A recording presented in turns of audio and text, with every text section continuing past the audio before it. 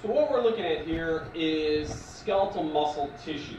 So this is what it looks like under low power, and we want to get it to high power. So this is medium power, and now here is high power.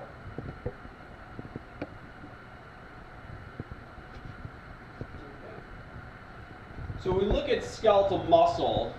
What you're seeing here is you're seeing these alternating dark and light lines. Dark, light, dark, light, dark, light. What those are is striations. So when you look at skeletal muscle, you want to see a lot of striations in here. They're going to be very visible. No other muscle tissue is going to show striations that well.